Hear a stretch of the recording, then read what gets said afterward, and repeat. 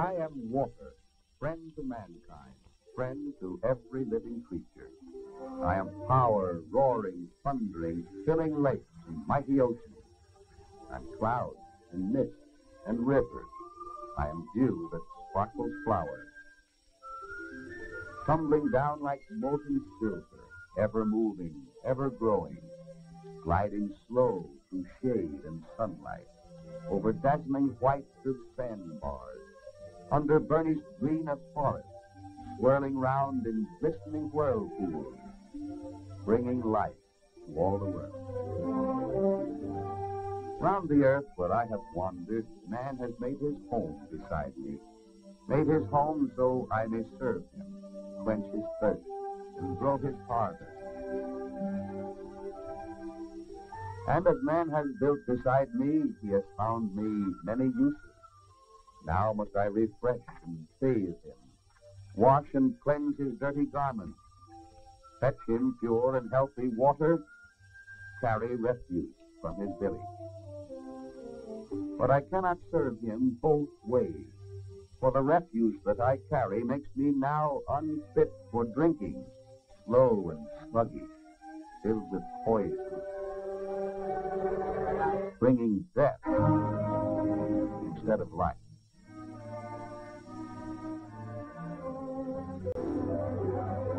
Bursting free, I race and tumble over falls, down rushing rapids, whirling madly, twisting, turning, over rocks and filtering sandbars.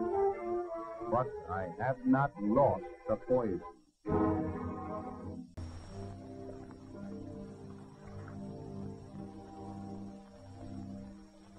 Thus I'm carried to their table, bringing death and sickness with me. I, who should be pure and stainless, am a foul and stealthy killer. It is I who caused these empty chairs. Man has forced me to these murders. They are not of my designing. Forced me by his careless action. Made of me a common carrier, carrier of death. Yet these deaths were really needless. Men of knowledge have discovered ways to test and to protect me. Sanitary engineers have given a lifetime of study to the problems of keeping me pure. When I am taken from rivers, streams, or ponds for drinking purposes, I am always dangerous. It is best to take me from an underground source, such as this inviting spring. I am pure as I flow into it, but if refuse and dust containing germs from human waste fall in or drain in during wet weather, I may become the source of sickness and death. Now, the first step in safeguarding me is to dig back into the spring. Next, install a simple watertight housing of rock, concrete, or even wood. A trough or pipe with spout turned downwards will let me out, but will not let contamination in. To prevent seepage, dig a diversion ditch. Isn't it worth this little effort to know that I am pure and clean, safe for all who drink me? The problems involved in keeping me pure in this well are much the same as those concerning the spring. There is always danger from dust and debris containing deadly germs from human waste. Suppose I should be carelessly spilled when taken from the well. And see what happens when it rains.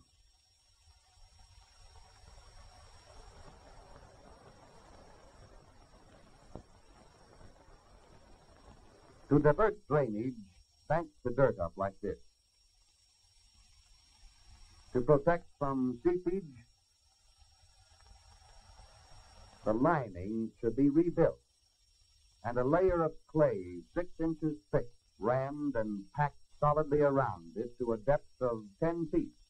Because of the rule, when I filter through to that depth, I become purified. Even the rope and bucket may be contaminated by handling.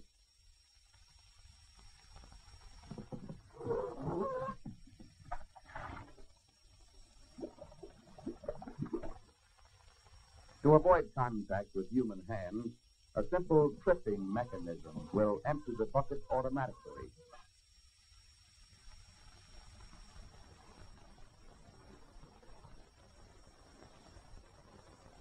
To prevent deadly disease germs from falling into the well, cover it with a dust and insect mite housing. Thus, by the use of materials which are easily available to you, I can be transformed from a possible enemy into a true friend and faithful servant. Of course, the concrete well with pump instead of bucket is best of all. The upper 10 feet of lining is of concrete, thus ensuring permanent proof against seepage. The well is covered by a concrete slab with watertight joints. The pump is securely bolted down, completely sealing the well, which is now protected from all the common sources of pollution.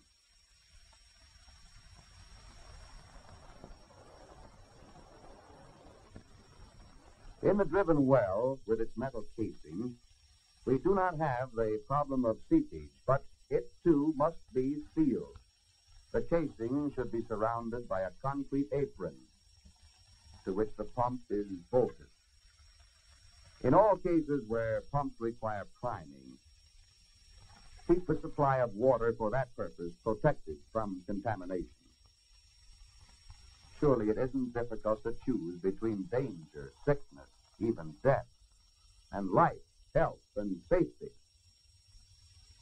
Remember, human waste is the most deadly source of contamination. Your outhouse must always be placed at a safe distance from the well. Although you may have thoroughly protected your well or spring, there's a chance it may be situated in a rock formation, such as limestone. In that case, I may travel long distances underground, carrying death.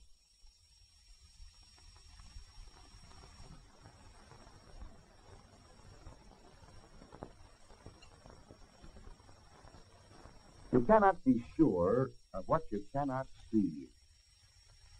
To be certain that I am free of the deadly diseases, typhoid, cholera, and dysentery, take me to your local health department. They'll gladly tell you if I am cured and fit to drink. And if there is ever any question, any doubt as to my safety, you need only heat and boil me. If you listen to me closely, you'll hear me softly singing. Singing now because I'm happy, for I know that fire cleanses, driving death and sorrow from me. Then keep me clean and covered. And instead of bringing sorrow, I'll bring you health and laughter. I will always truly serve you, friend to you and yours forever, friend to all the world.